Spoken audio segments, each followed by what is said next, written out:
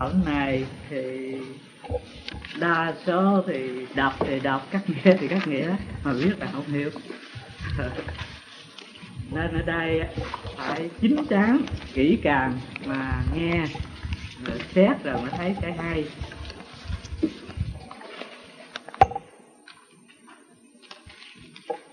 Trước hết là tôi nói về lục chủng. Đây là cái phẩm thứ năm, đó là phá lục chủng lục chủng là gì? Tức là lục chủng ở chỗ khác trong kinh gọi là lục giới. Lục giới. Mà đây gọi là lục chủng tại sao trong kinh nói lục giới mà đây lại gọi là lục chủng bởi vì trong kinh Phật muốn dạy chúng tỳ kheo phá cái chấp ngã về thân. Cho nên Phật mới chia cái thân này ra làm sáu thứ. Cái thứ nhất là đất, tức là những phần cứng chắc ở trong thân. Thuộc về đất. Phần ướt trong thân thuộc về nước. Phần động trong thân thuộc về gió. Phần ấm trong thân thuộc về lửa. Phần trống trong thân thuộc về không. Trống là như cái gì? Lỗ tai lỗ mũi cửa miệng vân vân. Cái đó là phần trống thuộc về không. Rồi phần thức tức là phân biệt trong thân thuộc về thức. Như vậy thì cái thân này nó gồm có sáu thứ đất, nước, gió, lửa, không thức đã là sáu thứ thì cái gì là ta? Phải không? Nếu nó thức là ta thì mấy cái kia là gì? Và nếu nó không là ta thì mấy cái kia là gì? Vì vậy cho nên, chia sáu thứ rồi tìm cái ta không có. Đó là chia ra sáu phần ranh giới riêng biệt để thấy cái thân này không phải ngã đó. Bởi vì khi nào chúng ta chấp nhã về thân á thì cũng thấy cái thân này trọn vẹn là ta phải không? Nhưng mà khi phân chia rồi tìm tìm cái ta trọn vẹn không có. À, nó chỉ là mớ hợp lại rồi tạm gọi là ta thôi chứ không có cái ta thật. Đó là cái tinh thần ở trong kinh chia ra lục giới. Nhưng mà tại sao lại đây gọi lục chủng? Chứ chủng là chủng loại là cùng thứ cùng một loại. Vì vì ví dụ như các cái loại kính như xương, tóc, răng rồi dân dân á, thì cùng một loại, kết lại gọi nó là đất. Nước, mồ hôi, máu mũ nhiều thứ cùng một loại gọi là nước. Thành ra tuy cái loại với cái giới nghe nó khác nhau, nhưng mà sự thật nó cũng là một nghĩa. Nhưng mà cái kia thì có tính cách là chia từng phần để tìm cái ngã không có. Còn cái này, những cái liên hệ nhau thì gọi chung là một thứ. Đó. thì như vậy đó cho nên ở đây gọi là sáu thứ, còn chỗ khác gọi là sáu giới. Đó là tôi nói tổng quát rồi. Nhưng mà trong sáu thứ lẽ ra bát thì phải bát cái số một trước thấy không? Là đất. Còn không cái số hai, còn không thì cái thức là cái chót mà ngài nhờ cái thứ năm bát nghĩa là phá ngay cái thứ năm là phá hư không. Ừ. Thì khi nó phá hư không này thì cái này nó không hình không tướng cho nên thiên hạ khó. Rối rắm không hiểu nổi. Cho nếu phá đất thì dễ dễ biết quá. Tại sao mà phá hư không? Thì đây là những lý do căn bản mà mình phải biết. Bởi vì hư không á, nó có nhiều cái lối chấp sai biệt. Ở trong đạo cũng như ngoài đời ở trong đạo thì có chấp có nhóm chấp rằng hư không là cái tướng đối đãi. Mà tướng đối đãi thì nó phải không thiện. còn một số nữa, nói hư không, là cái sẵn có. Không phải làm ra, không phải vô thường. Thì cho nên nó là thật. Cho nên có cái hư không vô vi. Hư không thuộc về cái không sinh diệt. Phải không? Như vậy thì nó là cái thực có tuyệt đối, không phải sinh diệt còn nhóm thì nói gì? Đối đãi. Đối với cái có thì lập cái không. Như vậy thì cái không không tự có. Mà bởi đối cái có mà có. Đó là hai hai thuyết. Một thuyết nhìn hư không có tính cách là tương đối. Do cái này lập cái kia do cái có lập cái không hoặc do cái sắc mà lập có cái không. Còn bên nọ thì nhìn hư không với cách tuyệt đối. Vì hư, hư không sẵn có. Không phải làm ra không phải vô thường cho nên nó là cái thật có. À, như vậy thì ai trúng rồi một số học giả ngoài. Một số học giả ngoài họ cho hai cái hai cái lối chấp một là cho hư không thuộc về ngoại tại. Hai là cho hư không thuộc về nội tại. À, ngoại tại nghĩa là sao? Thì nói rằng hư không là cái không thể đo lường được. Nó thênh thang bát ngát không có cái chừng hạn bởi vậy cho nên nó là cái sẵn có bên ngoài. À, nó sẵn có bên ngoài không thuộc về người còn một bên thì cho nó thuộc nội tại. Nội tại là sao? Nghĩa là hư không, nó là không. Nó không thì có cái gì?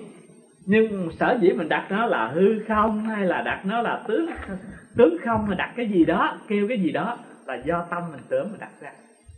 Chứ tự nó không có. Do mình tưởng đặt nó là cái không à, không dài, không ngắn, không thanh thang gì đó, là tự mình đặt ra rồi nó thành có. Chứ nguyên nó là không mà nó không thì có cái gì phải không? Mà tự mình tưởng tưởng mình đặt ra.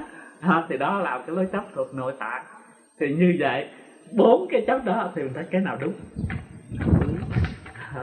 Như vậy thì bốn cái chấp đó đối với ngài long thọ ngài không thừa nhận mà ngài nhìn thấy hư không là cái tướng duyên khởi. À, hư không là cái tướng duyên khởi nó không thuộc nội tại không thuộc ngoại tại không thuộc những cái chấp đó. À, hư không là cái tướng duyên khởi. Như vậy thì mình thường nói hư không là không phải do duyên hợp mà tại sao ngài nói là tướng duyên khởi? Nếu mà hiểu được cái tướng duyên khởi thì mới hiểu được cái đoạn này. Nếu không hiểu tướng duyên khởi thì chịu. Đọc phải đọc chứ không bao giờ hiểu nổi. Tại sao hư không là tướng duyên khởi? Bởi vì hư không? Không tự có. Nhưng mà giờ đây đây là cái bàn. Cái bàn là gì? Là sắc phải không? Là là có. Mà bởi sắc cho nên định nghĩa sắc là gì? Là cái chướng ngại. À, mà đối với cái chướng ngại thì cái không chướng ngại gọi là không. À, như vậy thì cái chướng ngại là tướng của sắc cái không chướng ngại gọi là tướng của không. À, như vậy thì cái tướng của không là đối với cái tướng sắc mà lập thấy không? Nhân nơi tướng sắc mà lập cái tướng không. À, tướng sắc là tướng chướng ngại mà chỗ không chướng ngại gọi đó là tướng không phải không? À, như vậy thì cái không á nếu không có sắc thì nó có không? À, như vậy thì cái chướng ngại là ba là là nhà cửa là cây cối là đất cát vân vân. Thì đó là thuộc về sắc tướng phải không? Là có. À, còn cái không có chướng ngại thì thuộc về không. Đó là không tướng. Như vậy thì chỗ này là cái chướng ngại thì chỗ này là sắc tướng. Chỗ này không chướng ngại là không tướng. À, như vậy thì cái không tướng này là đối đãi với cái hữu tướng mà lập, thấy không? Thì đối đãi tức là hữu tướng làm nhân mới có cái không tướng. Như vậy tức là duyên khởi gì? Bởi duyên cái có mà lập cái không. Bởi duyên cái sắc mà lập cái không. Đó. như vậy cái không không tự có mà duyên nơi sắc mà lập mới có. Như vậy thì cái không chướng ngại gọi là tướng hư không. Ở nãy chú hiểu lung tung. không chướng ngại là tướng hư không? Thì cái không chướng ngại là tướng hư không? Đó là năng tướng. Còn một cái hư không trùng với cả vũ trụ đó là sở tướng. Thành ra lấy cái không chướng ngại làm tướng hư không? Là cái không chướng ngại đó là đối với cái chướng ngại là sắc. Cho nên cái không chướng ngại này, nó không tự có mà đối với cái chướng ngại mà lọc cái không chướng ngại. Nhớ vậy đó còn cái sắc là lấy cái chướng ngại làm tướng.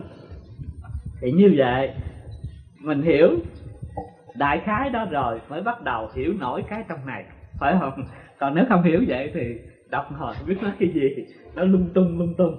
À, đây bây giờ bắt đầu. Vì tôi nói rõ lập trường của ngài long thọ là hư không là tướng duyên khởi là pháp duyên khởi. Chứ nó không có cái tánh quyết định. Phải không? Cũng như từ trước đến giờ, mấy phẩm trước là phá tất cả chấp các pháp có quyết định, có tự tánh. Bây giờ tới cái phẩm này, thì ngoại nhân, đây là đứng về mặt ngoại nhân chấp mà hỏi rằng, sáu thứ, mỗi cái có cái tướng quyết định. Bởi vì có cái tướng quyết định, ác là có sáu thứ. bởi vì đất? Là có cái tướng quyết định của đất. Nước có tướng quyết định của nước. Gió, lửa, vân vân, có tướng quyết định. Mỗi cái có cái tướng quyết định riêng. Như vậy thì sáu cái đó nó có tướng quyết định. Mà có tướng quyết định thì nhất định có. Nhất định có thì ở trước, bây giờ ông nói tất cả pháp không có tướng. Nó không có cái quyết định. Nó là tánh không. Thì như vậy đâu có đúng. Phải không? Đó.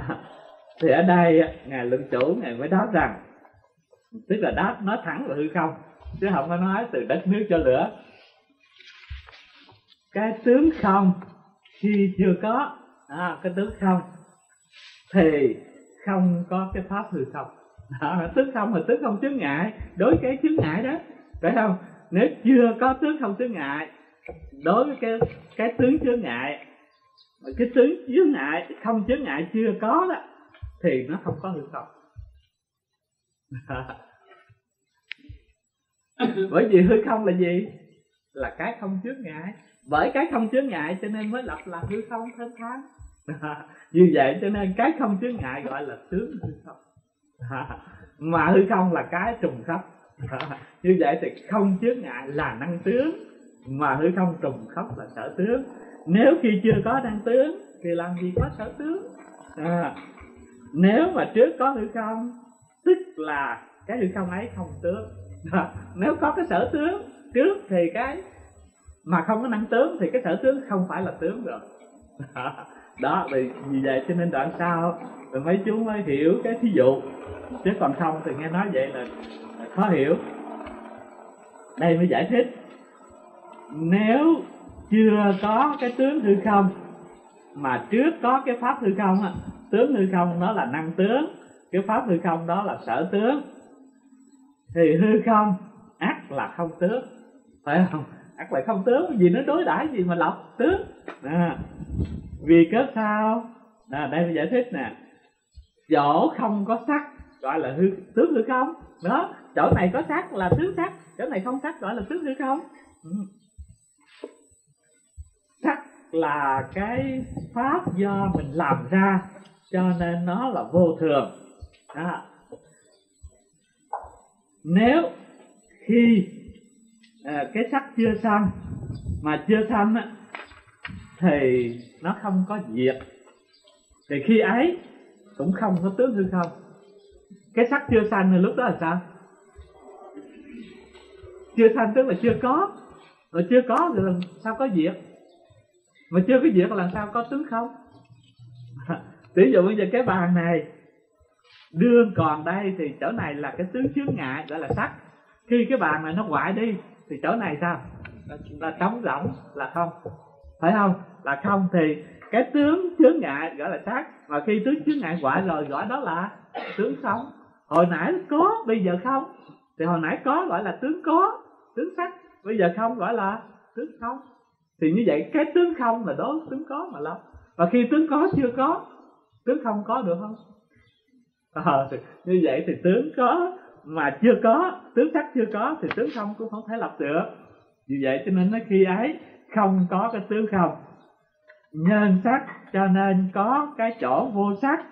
Mà chỗ vô sắc gọi đó là tướng hư không. À, như vậy thì đoạn này hiểu chưa? Không hiểu mà cũng còn nhiều người hơi ngơ ngác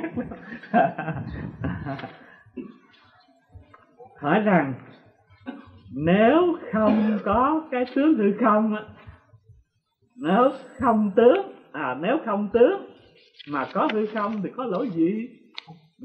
Nếu không tướng mà có hư không tức là không có cái tướng không đối đãi với tướng có mà vẫn có hư không thì có lỗi gì? À, thì đáp rằng cái pháp không tướng ấy tất cả chỗ không có ở trong cái pháp không tướng tướng ác không có sở tướng. À, nói rằng nếu mà có cái pháp mà cái pháp nó không tướng á, thì tất cả thế gian này kiếm không có tất cả chỗ đều kiếm cái pháp nó không có. Bởi vì phàm là pháp là cái thì bây giờ biết mấy chú chỉ là cái gì mà không tướng chỉ được cái coi. Nhưng có cái là có tướng. Phải không? Có cái bàn thì có tướng của cái bàn có cái tủ thì có cái tướng của cái tủ có cái cây là có tướng cái cây. Có cái là phải có tướng. Mà nói có cái mà không tướng là không bao giờ có. Kiếm cả thế gian là không bao giờ có. Phải không? Bây giờ thử coi. Bây giờ nói cái này là cái không. Thì cái không thì phải tướng trống rỗng và cái có thì phải có cái tướng tướng chướng ngại. Bây giờ ông nói không có tướng mà có hư không thì cái, cái hư không đó từ đâu mà lập à, như vậy thì trên thế gian này phàm cái gì là có kêu là pháp là cái thì cái đó đều phải có tướng hết. À, đó là cái lối lý luận của ngài. Như vậy mà nó ở trong cái pháp không tướng thì lúc đó cái năng tướng ác là không có sở tướng. Tức là không có cái tướng riêng thì không có cái tướng chung. À. đây mới giải thích. Nếu ở trong cái pháp thường và vô thường. Tìm cái pháp không tướng không thể được. À, ở trong cái pháp thường và vô thường. Thường là pháp vô vi vô thường là pháp hữu vi. Tìm cái cái không tướng không có. Nếu có pháp là có tướng à, bởi vậy cho nên đây mới nói. Như luận giả nói luận giả nói tức là như cái lời hỏi của ông đó là có là không làm sao biết. Nói rằng nếu không tướng mà có hư không có, thì có lỗi gì? Thì như vậy đó. Hư không là có hay là hư không là không? Bởi vì không tướng. À, không tướng như vậy nó là có hay là không? À, mà nó không là có là không thì làm sao biết được? Cái đó thuộc lại gì? À, bởi vậy cho nên nếu nói hư không là phải có tướng. Tướng trống rỗng gọi là tướng hư không. Đó nên giờ ông nói không tướng mà có được không thì chuyện nó không thể được. Mỗi cái, vì mỗi cái đều có tướng. Sanh, trụ, diệt là cái tướng hữu vi. Không sanh, trụ, diệt là cái tướng vô vi. Hư không, nếu không tướng, ác là không hư không. Nếu bảo trước không tướng à, trước hư không không nó không có tướng. Rồi sau cái tướng nó tới nó làm tướng cho hư không thì ấy cũng không được. Nếu trước không tướng thì không có cái pháp sở tướng. Tức là trước không tướng là không năng tướng thì không có cái pháp sở tướng. Đó. không năng tức là không sợ đó. Đấy, vì cái sao? Để giải thích nè. Vì cái sao? Bởi vì trong cái có tướng không tướng tướng ác không có cái chỗ trụ. À, trong cái có tướng tướng cũng không có trụ. Trong cái không tướng tướng cũng không trụ. Lìa cái có tướng và không tướng ở chỗ khác cũng không trụ. À, tại sao? Đây giải thích cho kỹ. Như có cái chữ phong mà mấy người dịch trung thành nói là cục bú thì nghe nó kỳ cục làm sao? Mấy người không phải ở nhà quê rồi ở đây nó con trâu với sự thật là chữ ngưu này là con bò chứ không con trâu. Con bò thì trước á nó có cái cổ cái cục cổ đó, đó. Nó nhọn lên đó cái cục cổ nó cục bút. Con bò nào cũng bệnh hết trơn. Cái cục cổ tiểu phong đó là cái cục cổ. À. À, con bò nó có cái cục cổ có hai sừng thấy không rồi có cái đuôi có lông. À, rồi ở dưới cổ nó có cái diều lòng thòng. À, diều lòng thòng đó là tướng con bò. Tướng con bò chứ không phải tướng con trâu ấy gọi là tướng con bò. Lìa cái tướng ấy ắt không có con bò.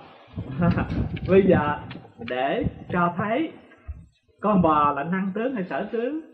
Sở tướng sở tướng. À nào là cổ nè sừng nè lông nè đuôi nè diều nè vân vân. Cái diều ở cổ thì tất cả cái đó là năng tướng. Thì con bò là sở tướng. Nếu không có năng tướng thì không có cái sở tướng không có con bò. Ngược lại không có con bò thì cũng không có à, những cái đó. À, cũng như mình nói cái gì cái nhà là năng tướng là sở tướng. À, mà gạch là cột, là kèo, là đòn tay là tôn là này kia đó, là sở năng tướng. Mấy cái năng tướng nó ráp lại thành cái sở tướng. Đó như vậy sở tướng là cái tướng chung, mà năng tướng là cái tướng riêng. Đó bởi có năng tướng thì mới có sở tướng. Chứ nếu không có năng tướng là sao có sở tướng? Bởi vậy nên đây mới dẫn con bò. Trước có mấy cái đó tại sao mới có tướng con bò? Lìa cái tướng ấy tức là không có con bò. Nếu không có con bò thì các cái tướng ấy cũng không có chỗ trụ. Không ở chỗ nào. À, thế nên nói trong cái pháp không tướng tướng ác không có sở tướng. À, nếu mà trong cái pháp không có tướng không tức là không có năng tướng thì có sở tướng được không? À đó cũng như không có những cái bộ phận đó làm gì có con bò. À, À, trong cái có tướng tướng cũng không trụ. À, ngay trong cái đã có tướng tướng nó cũng không trụ. Tại sao? Đây mới giải thích. Bởi vì trước nó đã có tướng. Ừ. Ở trong cái có tướng thì tướng cũng không trụ. Vì gì trước nó đã có tướng thí dụ như trong cái tướng nước thì tướng lửa nó không trụ. Bởi vì nó đã có cái tướng trước sẵn rồi. Cho nên cái tướng sau không thể ở đó được vì trước nó có cái tự tướng tức là tướng của nó rồi. Lại nữa nếu trong cái không tướng mà cái tướng trụ đó ác là không nhân ừ, không tướng là làm sao có chỗ đường trụ? Như vậy thì tức là không nhân không nhân gọi là không pháp mà có tướng thì tướng khả tướng. À, không nhân gọi là không pháp mà có tướng thì chuyện nó không bao giờ có. Như vậy cho nên năng tướng và sở tướng. Vì năng tướng và sở tướng thường làm cái nhân đối đãi nhau. Chữ này tương chứ không phải không phải là tướng nữa. Tướng khả tướng thường tương nhân đãi cố. À, năng tướng sở tướng thường làm cái nhân đối đãi nhau đó. Năng tướng là bộ phận, phải không? Riêng rồi còn sở tướng là cái chung. Đó. như vậy thì có những cái rời mới thành một cái chung. Đó. cũng như có cái chung mới chứa được những cái rời. Hai cái nó không tách rời nhau được. Cho nên hai cái nó đối đãi nhau mà lập. Lìa. Có tướng và không tướng lại không có cái chỗ thứ ba làm cái sở tướng, đó. Lìa cái có tướng và cái không tướng, thì không có cái thứ ba làm chỗ để thành cái sở tướng. Thế nên, trong bài kệ nói, lìa có tướng, không tướng, chỗ khác cũng không trụ. Không trụ tức là không có cái chỗ thứ ba để lập cái sở tướng. Đó, thì như vậy, ở đây nói cho rõ rằng phàm tất cả pháp nó hình thành được đều từ năng tướng đến sở tướng. Hư không, tuy rằng nó không có phải là phần vật chất, nhưng cái năng tướng của hư không là không chướng ngại. Đối với cái sắc tướng có chướng ngại, thì cái không chướng ngại đó trùng hết, gọi là sở tướng hư không. Còn cái không chướng ngại, đối với cái chướng ngại ở bên cạnh nó thì đó gọi là năng tướng. Đó. như vậy đó thì để biết rõ cái ý nghĩa. Lại nữa, cái à, tướng pháp, vì tướng pháp nó không có. Tức là tướng pháp là cái cái cái năng tướng đó. Thì cái pháp sở tướng, vì cái pháp năng tướng không có, nên pháp sở tướng cũng không. Vì cái pháp sở tướng không cho nên cái pháp năng tướng cũng lại không. Đó, đây là lặp lại cái ý nghĩa năng và sở đối đãi nhau. Năng không có thì sở không có, sở không có thì năng cũng không có. Ừ. vì tướng không có cái chỗ trụ, ác không có cái sở tướng, tức là vì năng tướng nó không có chỗ trụ cho nên cái sở tướng nó cũng không. Vì cái sở tướng không cho nên năng tướng nó cũng không. Vì cớ sao? Nhân năng tướng mà có sở sở tướng nhân sở tướng mà có năng tướng. Vì cùng đối đãi nhau làm nhân đối đãi nhau. Đó, là vì cùng làm nhân đối đãi nhau. Thế nên nay cái không tướng cũng không có cái sở tướng. Lìa năng tướng và sở tướng rồi lại cũng không có vật đó. bởi vì vật nó có ra là từ năng tướng sở tướng mà có. Bây giờ lìa năng tướng sở tướng thì có cái vật gì? À, bởi vậy cho nên nói rằng lìa năng tướng sở tướng rồi lại không có vật ở trong nhân duyên gốc đoạn khỏi nó 12 nhân duyên đó 12 nhân duyên là tự cuộc. Ở trong nhân duyên gốc ngọn suy tìm năng tướng sở tướng quyết định không thể được. À, về lý nhân duyên á thì tìm tột từ đầu chí cuối kiếm cái quyết định là năng tướng quyết định là sở tướng không được. Bởi vì là nhân duyên á thì nó luôn luôn là đổi dời là không cố định phải không? Mà không cố định thì làm sao có cái năng cố định làm sao có cái sở cố định? Mà không có cái năng cố định cái sở cố định thì như vậy cái năng tướng sở tướng nếu có chỉ là giả quyển chứ không có thật. À, mà thế gian thì chấp năng tướng thật sở tướng thật cái gì có cũng cho là thật là có thực thể là quyết định. Bởi vậy cho nên rồi sai lầm. Ừ. Hai cái ấy không vì hai cái ấy không thể được thì tất cả pháp đều không. À, vì năng tướng sở tướng không có cố định cho nên tất cả pháp đều không có cố định. Bởi vì tất cả pháp đều nhiếp thuộc về năng tướng ở nơi năng tướng và sở tướng trong hai pháp năng tướng và sở tướng. Hoặc năng tướng là sở tướng hoặc sở tướng là năng tướng đó. Như lửa lấy cái khói làm tướng rồi khói cũng lại có tướng. À, có tướng tức là lấy lửa làm tướng. Như vậy năng sở nó hỗ tương nhau. Đó, chứ nó không có tách rời. Đó. như vậy thì đoạn này dễ hiểu mà khó thì giải xong nó dễ hiểu. Thì như vậy đó, đó. Ý nghĩa nó là như vậy bởi vì đứng về mặt lý nhân duyên mà xét, nó không có một pháp cố định. Mà đã không có một pháp cố định thì không có cái năng tướng thật, sở tướng thật. Mà năng tướng, sở tướng không thật thì tất cả pháp đều không có thật. Và tất cả không, pháp không có thật thì nói là không có thật pháp. Bởi vậy cho nên nói rằng ờ, tất cả pháp có ra đều từ năng tướng, sở tướng mà thành lập, chứ không phải bỗng dưng mà có được đó, hỏa nhân liền đặt câu hỏi. Nếu không có cái có thì lẽ nên phải có cái không chứ?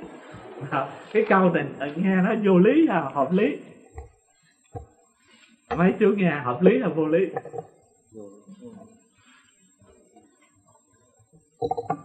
Cái câu này là câu mà tất cả chúng ta chấp hỏi cái này có không? Thì nó không có, thì mình biết biết nó là không rồi nếu không có là phải không? Phải không? Chứ nó không có mà nó không phải không nữa là đâu có chịu.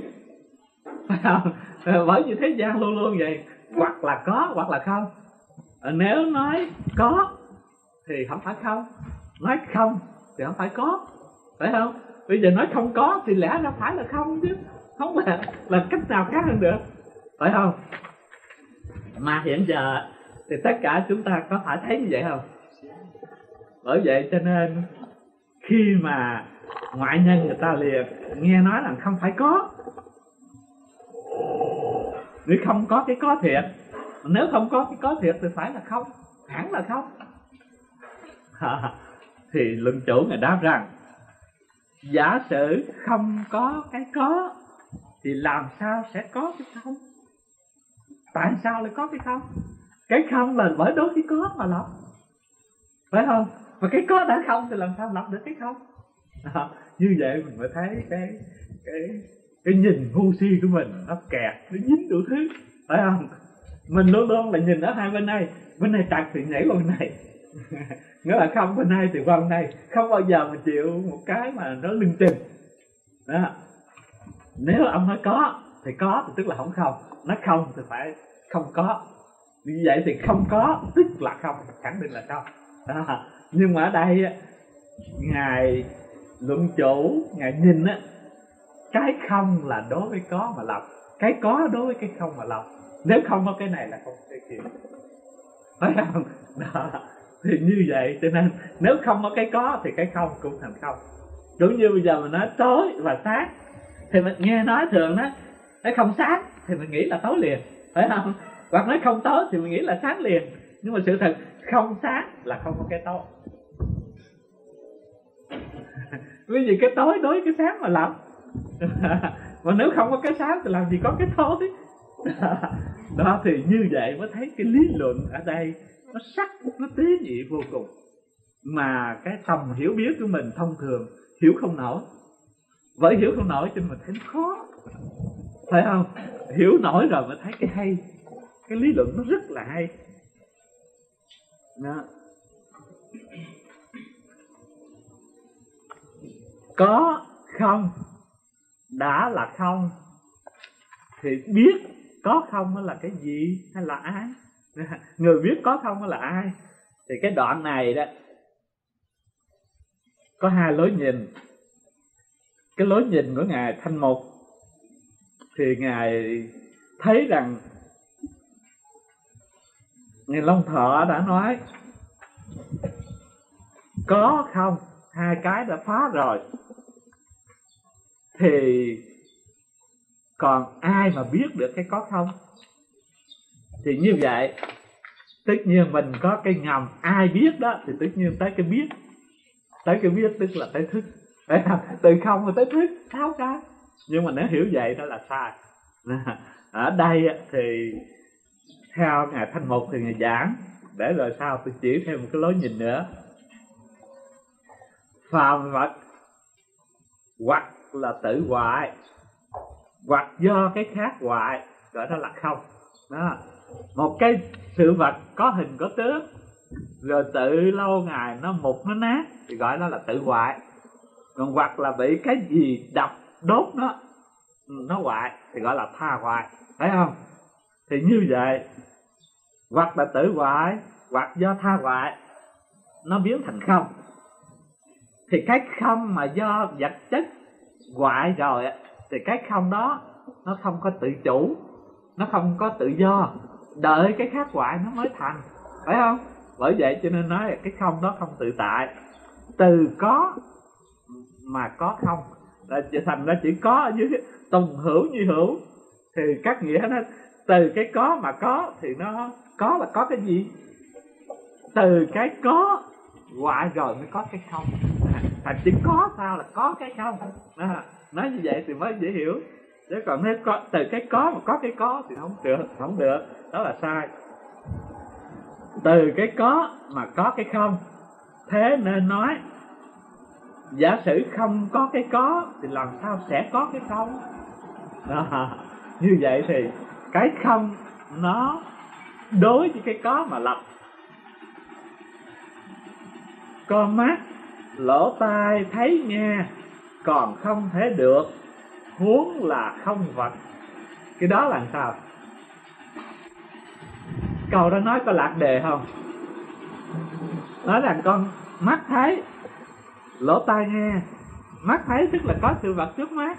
Lỗ tai nghe là có âm thanh bên tai. Là những cái đó nó có đó mà còn không đúng thai huống nữa là không có vật thì làm sao biết đúng với sai? Thì nếu mà hư không nếu không có đối với cái có thì hư không làm sao biết rằng có hư không được? Đó. thì ở đây á nói mắt thấy nói tai nghe còn không thể được tức là còn không có thể đúng. Mắt thấy đúng không? Tai nghe đúng không? Ừ. đó, con mắt thấy cầm cái nhang quay một vòng. Nhanh quá cái là thấy cây nhang là thấy một dòng lửa. Mà thấy dòng lửa thì có mắt thấy không đúng. Chỉ có một cây nhang chạy nhanh thôi chứ làm gì có dòng lửa. À, lỗ tai nghe đúng không? À, lỗ tai nghe thì cái người hai người cùng nghe đừng nói là là cái gì sao lạ. Tôi giảng đây mà quý vị ngồi đây nghe. Cái hiểu quý vị cái giống nhau à, có người thì thấy hay có người thì thấy thật khó quá có người thì không biết gì mù mịt. Đó thì như vậy đó cùng nghe như nhau mà cũng còn khác hiểu khác nhau. Hướng nữa là cái không có vật mà làm sao mà biết nó thế nào.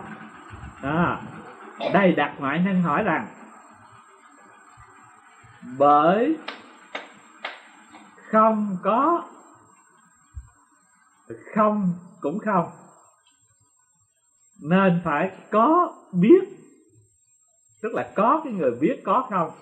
Bởi vì không có cái có cho nên cái không nó cũng không. Thì đó là tôi thừa nhận rồi. Không có cái có cho nên cái không cũng không. Nhưng mà giờ còn có cái người biết có không chứ. Phải không? Đó, đó là ngoại nhân ta đặt câu hỏi.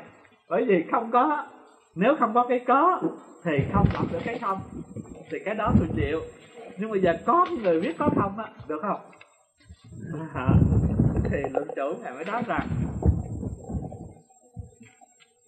nếu có người biết á thì nên ở trong cái có hay là nên ở trong cái không? Mà cái có và cái không đã phá rồi á thì cái biết cũng là phá luôn đó. bởi vì nếu mà có cái người biết thì hỏi biết nằm trên cái có mà biết hay nằm trên cái không mà biết. Mà cái có cái không hai cái đó phá rồi thì cái biết có không nó có đứng yên được không? À, thì như vậy ở đây thì theo như cái ngài thanh mục thì ngài cho rằng nói rằng cái gì biết có không là hay biết có không là ai đó? Tức là nói rằng còn đối với cái có cái không? Thì cái có, cái không là đối tượng. Mà đối tượng thì cái, đối tượng nó không có, nhưng cái người biết có không phải có. Phải không? Đó là cái lập luận của ngoại nhân. Thì ngài bác rằng, cái có, cái không, nó không có, nhưng bây giờ cái người biết có không á, nằm ở trên cái có mà biết, nằm trên cái không mà biết. Phải không? Mà nếu nằm trên cái có thì cái có đã bắt rồi nằm trên cái không cái không đã bắt rồi. Thì như vậy, cái biết có không cũng bị bắt luôn. Đó, thì ừ, theo ý của nhà thanh mục là như vậy. Nhưng mà có chỗ khác, người ta giải thích thế này. Nói rằng, cái có, cái không là do nội tâm mình đặt ra đây là có, kia là không. Và đã là do nội tâm đặt. Cho nên mình luôn luôn mình suy nghĩ để mà thành lập ngôn ngữ. Thì khi mình suy nghĩ thành lập ngôn ngữ thì luôn luôn mình nghĩ hai mặt. Có không phải quấy tốt, xấu hơn, thua, vân vân. Nghĩ theo hai mặt. Như vậy thì cái nghĩ có, nghĩ không đó cũng là tự tâm mình nghĩ. Phải không? Như vậy thì cái có không là cái đối tượng mà đã không? Thì cái nội tâm nghĩ này cũng là cái không thiệt. Bởi vì cái có không là đối tượng mà không thiệt. Thì cái nghĩ ra đối tượng đó, cái đó cũng không thiệt luôn. Đó là một cái lối nhìn khác. Thế nên biết hư không? Thế nên biết hư không? Không phải có, cũng không phải không. Không phải năng tướng cũng không phải sở tướng. Năm cái khác cũng đồng ý nghĩa như hư không. Đó như vậy năm cái khác nó cũng không phải có, cũng không phải không. Không phải năng tướng, cũng không phải sở tướng. Phải gì không? Năm cái khác là gì? Đất, nước, gió, lửa, thức. Phải không? Như vậy thì để đi tới cái chỗ kết luận, thấy rõ rằng về lý duyên khởi thì các pháp nó không phải thực có, mà cũng không phải thực không. Mà thế gian này á, thì người ta thấy các pháp làm sao? Có thì thực có, không thì thực không. Phải không? Có thì thực có, không thì thực không. Nhưng mà cái cái nhìn bằng trí tuệ theo lý dương khởi thì các pháp không thực có mà không thực không. Tại sao vậy? Tại sao? Bởi vì thế gian thì quen nhìn trong cái đối đãi rồi chấp chặt. Bởi chấp chặt cho nên có là hẳn có, không là hẳn không.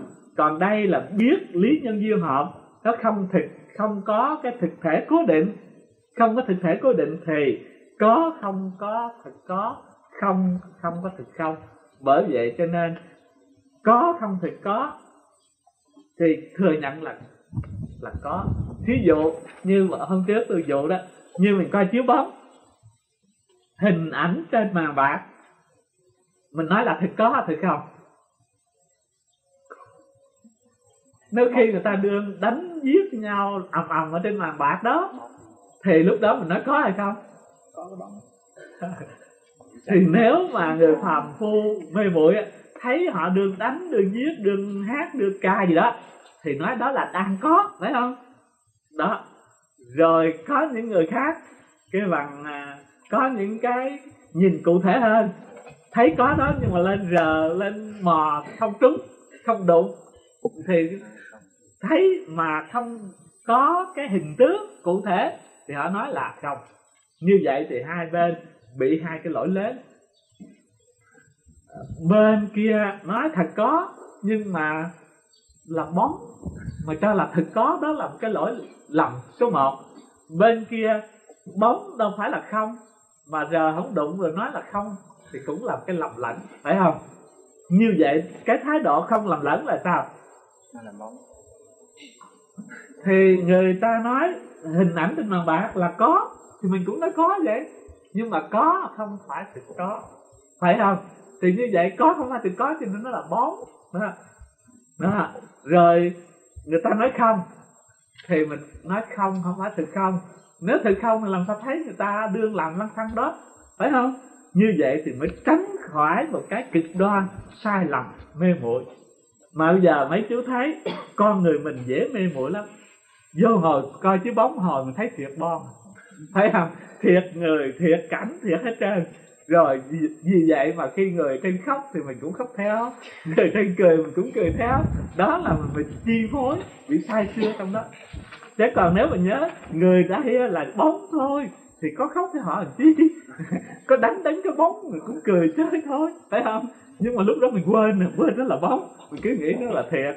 Bởi vậy cho nên giờ mình say mê đó thì cái trí tuệ của cái cái cái, cái bát nhã là cái trí tuệ thấy đúng như thật. Cho nên tất cả pháp duyên khởi giữa này nó không có cái thực thể cố định thì có đó chẳng qua là giả có. Cho nên giả có không phải là không cho nên nó có mà giả. Mà không phải không cho nên không phải. Cái không đó là sao? Cũng không phải là thiệt không. À, có cũng không thiệt có mà không cũng không không. Vì vậy mà trên phương diện đối đãi thì tất cả pháp không có một pháp nào là thực có, cũng không pháp nào là thực không. Mà phàm phu chúng ta đều thấy thực có, thực không. Bởi thấy thực có, thực không cho nên người nào mà nói thấy có, nói có, người khác nói không thì sao? Thì đánh lộn, phải không? Tôi thấy có rõ ràng, người khác nói tôi thấy không rõ ràng thì đánh lộn còn nếu dưới cho đáo để thì cái đó nó không phải thực có mà cũng không phải thực không. Không thực có thì chắc có làm gì? Không thực không thì chắc không làm gì? Thì như vậy phá cả hai cái chấp có và không. Còn nơi kia thì kẹt ở trong hai cái chấp mà luôn luôn kẹt chấp là gốc của đấu tranh. À, thì tới đằng sau sẽ thấy. Như vậy không phải chỉ cái không trong sáu giới này nó không phải có không phải không mà cả năm cái kia nữa cũng đều không phải có không phải không. À, đây giải thích. Như hư không? Dùng mọi cách để tìm cái tướng. Không thể được. Đó. Năm cái khác năm cái thứ khác cũng như thế tìm cái tướng thịt của nó không được. Hỏi rằng đây là đặt ngoại nhân hỏi. Hư không? Không phải ban đầu mà cũng không phải ở rốt sao không phải ở đầu, cũng không phải ở rốt sao vì cớ sao mà lại pháp trước đó rằng, đất, nước, gió, lửa, gió, do các duyên hòa hợp, cho nên dễ phá. Còn thích, bởi do cái nhân duyên khổ vui, mà biết nó là vô thường, là biến đổi, cho nên dễ phá. Còn hư không thì không phải như thế, không phải cái tướng như thế. Tức là không phải những cái tướng mà sinh diệt đổi thai vô thường đó. Chỉ phàm phu tưởng tượng là có, chứ hy vọng là tưởng tượng. Thường thường mình nói hy vọng là là gì? Là mơ ước, là tưởng tượng thôi có gì đâu. Nói tôi hy vọng cái việc đó xảy ra sẽ thành hình này kia. Đó là nó chưa có mà mình tưởng tượng.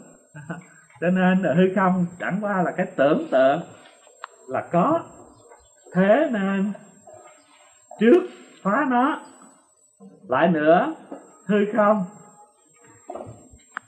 Nó hay gìn giữ tứ đại mà nhân, bởi nhân duyên tứ đại mà có thức thế nên trước phá cái gốc, cái cái cái cội gốc của nó.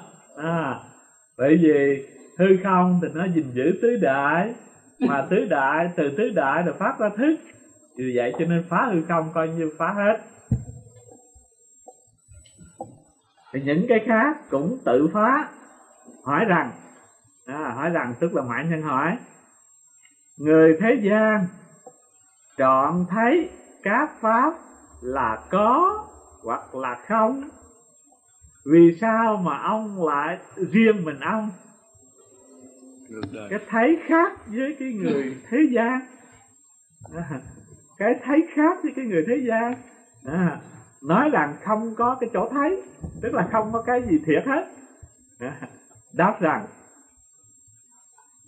cái người trí cạn thấy các pháp hoặc là có tướng hoặc là không tướng ấy ác không có thể thấy được cái pháp diệt kiến an ổn.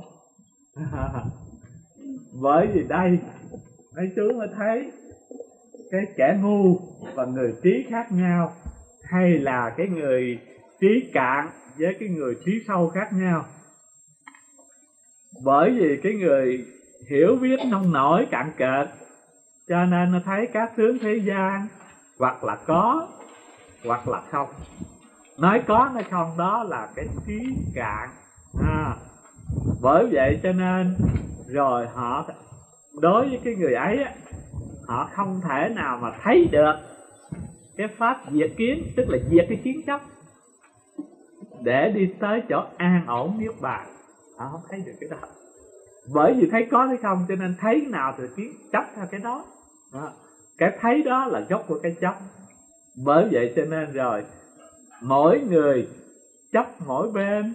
Mà mỗi người chấp mỗi bên hai cái nó chọi nhau thì gốc của đấu tranh. Mấy chú cãi là sao? Tại thấy khác là thấy giống? À, vậy thấy khác. Mà thấy khác cái thấy của mình đúng không? Thiệt không? Không thiệt mình sao cãi?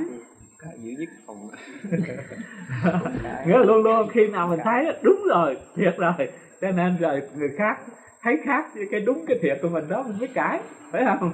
Cãi té nữa nhưng mà cãi rốt cuộc là đi tới đâu? Bây giờ tôi hỏi mấy chú, có cái cãi nào mà cãi cho đã rồi mà mình khỏi chết không? Hoặc là cãi thắng rồi mình khỏi chết được không? Có không? Hay là cãi cho đã rồi cũng ngã chết như nhau, vậy thì cãi chi? Chuyện không đáng cãi, phải không? Đó, đây mới giải thích. Nếu người chưa được đạo không thấy cái thật tướng của các pháp vì cái nhân duyên ái kiến ái kiến tức là thích cái chỗ thấy hay là chấp chặt cái chỗ thấy của mình đó cho nên có các thứ hí luận. Hí luận là sao? Hí luận là luận vui hay luận sao bậy cãi rầm rầm có phải lý luận không? Mà cãi nổi thân rồi đâu có gọi là cãi vui. Phải không? Khi cãi nổi thân ầm ầm với nhau mà có vui gì đâu mà nó gọi là lý luận. Thành ra chữ lý luận ở đây á, nghĩa là khi người ta mê, chấp chặt vào một bên rồi cãi nhau cho đến nơi đến chốn. Nhưng mà không, rốt cuộc là không đến đâu hết phải không? Chỉ là một cái trò vô ích thôi. Bởi là trò vô ích cho nên gọi là hí luận. Chứ không phải cãi mà vui đâu. Tôi thấy cãi hồi đó mặt hết trơn, vui chỗ nào? Thấy không? Bởi vậy cho nên hiểu cái hí luận là một cái cái cuộc đùa vô ích. Không có nghĩa lý gì hết. À. đây mới nói nè. Khi thấy cái pháp sanh gọi đó là có rồi chấp cái tướng nói là có à khi thấy pháp sanh gọi là có rồi chấp cái tướng nó cho là có thiệt à, khi thấy cái pháp diệt gọi đó là đoạn rồi chấp cái tướng nói là không thiệt à, khi thấy sanh thì nói là có thiệt à, khi thấy diệt thì nói là không thiệt phải không? Như vậy thì mình mà ở trong ờ, nhà có người mới sanh khóc qua qua thì mình nói có sanh thiệt không? Rồi mai kia có người chết tắt thở rồi cứ tạm đi chôn mình có phải nói là chết thiệt không? Tử thiệt không? Thiệt không? Thì rõ ràng mình thấy có sanh thiệt mình thấy có tử thiện, bởi thấy có sanh thiện cho nên mới mừng ngày sanh. Bởi thấy có tử thiện cho nên mới quý kỵ ngày tử. Phải không? Nhưng mà sự thật nếu nói về con mắt nhìn với con mắt nhân duyên á thì sanh không có sanh thiện, tử không có cái tử thiện. tại sao vậy? Tử là nhân duyên ly tán sanh là nhân duyên, tụ hợp phải không? Nhân duyên, tụ hợp thì gọi đó là sanh. Nhân duyên, ly tán thì gọi đó là tử. Thì hợp và tan đó là chuyện nhân duyên thôi. Mà nhân duyên có mất không? Nhân duyên hợp nhân duyên tan mà hợp tan nó có mất không? Hồi xưa chưa có, bây giờ có. Gọi là hợp, phải không? Bởi vì cái nó nó có sẵn rồi. Rồi đợi đủ duyên nó hợp lại. Rồi cái tan đó, thì cái cái tướng chung nó tan, chứ còn mấy cái bộ, mấy cái phần riêng nó cũng, cái duyên nó cũng tùy mà chuyển biến, có mất đâu. Phải không? Như vậy thì sanh, nó cũng không phải thật mới có. Tử không phải là thật mất đi. Phải không? Bây giờ mình chết có mất đi không? Giả tướng là nó mất đi nhưng mà đất nước gió lửa có mất đâu? Hơi ấm và ờ, không khí có mất đi đâu? Phải không? Rồi kể cả cái thức cũng có mất đi đâu? Nó đều lanh quanh lẫn quẩn đảo đi lộn lại đó thôi. Nếu mà nói theo luân hồi sanh á, là mới có sau cái tử phải không? Tử là mới mất là là cái mất trước cái sanh. Phải không? Nếu còn trong sanh tử thì bây giờ sanh ra tức là mới tử kia giờ sanh ở đây thì sanh đây là mới sanh của cái tử. Thì như vậy thì có nửa vui nửa buồn. Nửa, nửa mừng được ra ra đời nửa buồn là, là mất cái thân cũ. Phải không? Rồi tử thì nửa buồn cũng nửa vui. Nửa buồn mất cái thân cũ, mà nửa vui sẽ được cái thân mới. Thì như vậy có thiệt cái gì? Thiệt sanh, thiệt tử gì đâu, phải không? Nghĩa chẳng qua là một lần chuyển biến thôi. Như vậy thì trên lý nhân duyên, nó không có một pháp thực sanh hay thực tử, mà mình thấy thật có sanh, rồi chấp thật sanh. Thấy thật có diệt, rồi chấp thật diệt. Đó là cái nhìn sai lầm. À mà nhìn đó là nhìn của người thiển trí. Bây giờ cái người thật là trí tuệ thì nhìn sao? Người trí thấy các pháp sanh, liền diệt cái thấy không? Thấy các pháp diệt, liền diệt cái thấy có. Thành nó cũng hai cái cái thấy. Ở bên thấy sanh á, liền chấp có. Bên thấy diệt, liền chấp không. Đó là ngu phải không? Bên thấy sanh liền diệt cái chấp không thấy diệt liền diệt cái chấp có.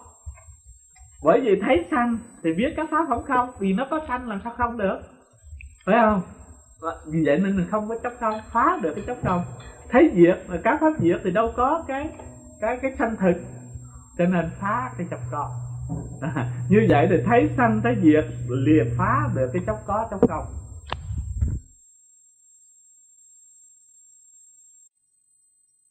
Sanh thấy diệt sanh chấp có chấp không?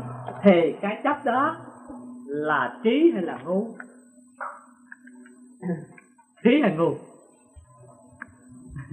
Còn thấy sanh thấy diệt mà liền phá được cái chấp có phá được chấp không? Là trí hay là ngu?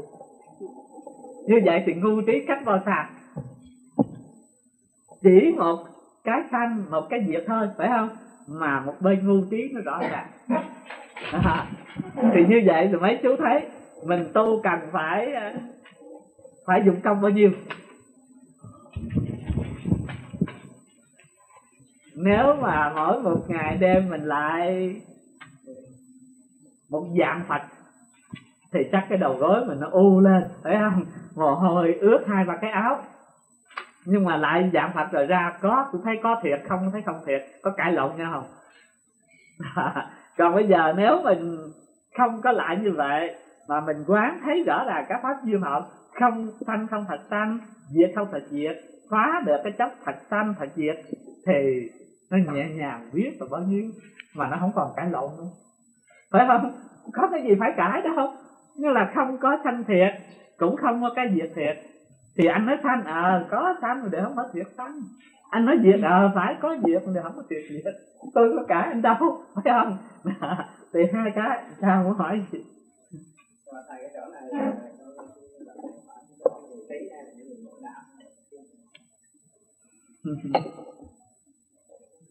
người này là người có trí tuệ bát nhã. Thấy các pháp duyên sinh.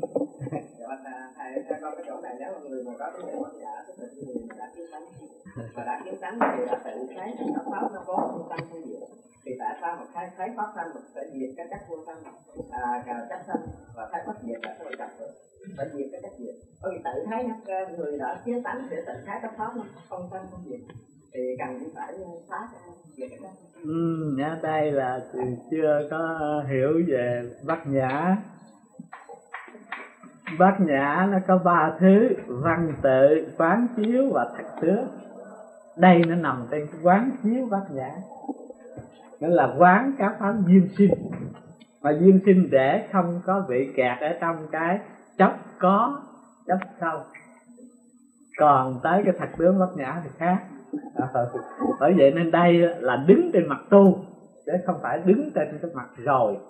Nhớ vậy. Ờ, ờ đó. Bởi vậy mà người tu tu là tu của người trí chứ phải tu của người ngu.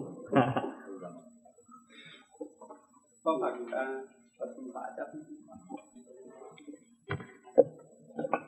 mô phật và thường quả như lời của, của thầy nội giảng nhạc nhiều. Mà tự tung với những các pháp là sát tướng không tướng sở tướng năng tướng và có không sanh diệt bây giờ tâm phan dạy thật nói xin tụng tọa từ bi chỉ thẳng. Ở đây thì nói chuyện dẹp thôi chứ chưa nói chỉ thẳng. Ờ, ừ, ừ. Đây nói chuyện chuyện dẹp thôi. Dẹp rồi thấy tôi không chỉ thẳng vậy nó không tướng mà chỉ thẳng chỉ ở đâu chỉ trên trời chỉ ở đất.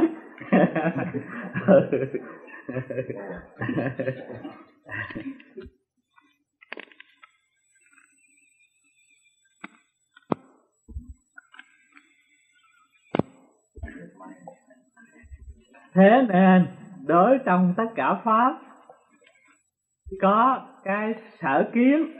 Đó, sở kiến tức là có cái chỗ thấy đều như quyển như mộng. Cho đến không có cái kiến kiến tức là kiến chấp về cái vô đạo vô lậu, hay là cho đến cái kiến chấp về đạo vô lậu, còn phải diệt huống là các cái kiến chấp khác. Thế nên, nếu chẳng thấy, nếu người không thấy được cái pháp diệt kiến, an ổn niết bàn thì sẽ thấy có, thấy không? Nếu mà người không thấy được cái pháp diệt kiến, an ổn niết bàn thì người đó sẽ thấy có, thấy không? Mà nếu thấy có, thấy không, đó là thấy của cái mê lầm, mê muội. Thì như vậy để tóm lại cho dễ nhớ một chút. Thì đây là nhìn theo cái lý duyên khởi mà phá tất cả chấp, pháp cố định có thực thể.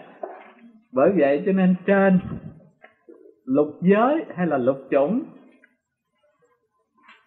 tuy có sáu thứ khác nhau, nhưng ở đây dùng cái phá về hư không hay là không giới thì đó là trùng phá tất cả.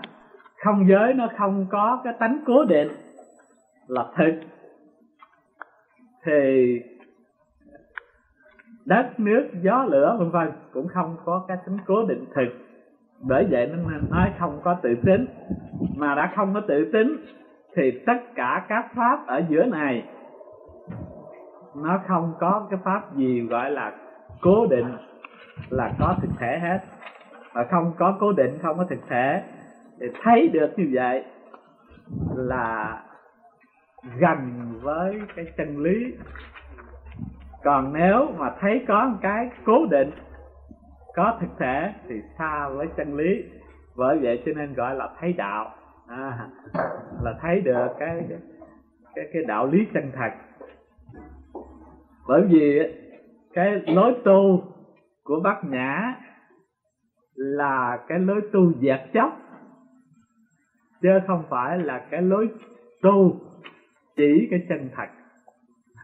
À, tất cả cái chấp hết rồi thì chú tự thật nữa chứ không có chỉ không có chỉ cái gì thật hết á. Mà hết chấp thì tự nó thật. Bởi vậy nên đây là cái tinh thần của bác nhã. Thôi bữa nay khó quá để học một phẩm các học nhiều.